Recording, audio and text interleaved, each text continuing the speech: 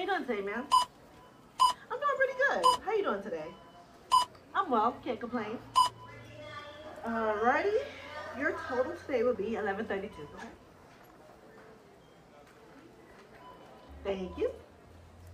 And would you like to round up to $20 today to donate to the Humane Society of Starving Children? $20? What?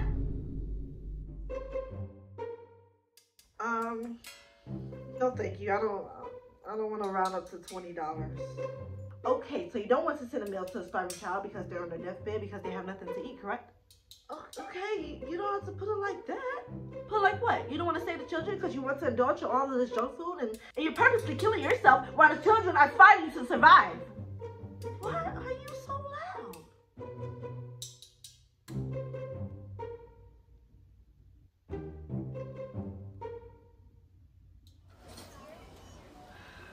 I mean, what, what, what even is the organization?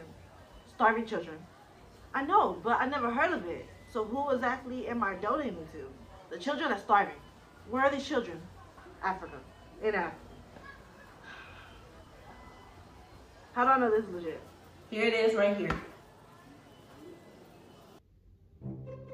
That does not look legit. Because you're obviously out of touch.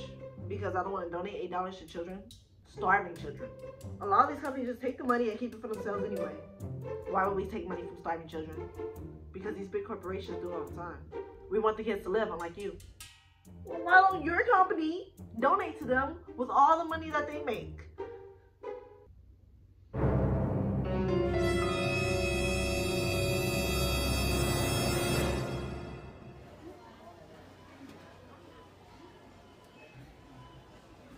You're right. You're right. You're right. You're right. You're right. You're right. We could have saved all these children the whole entire time and we haven't been. Inhumane people.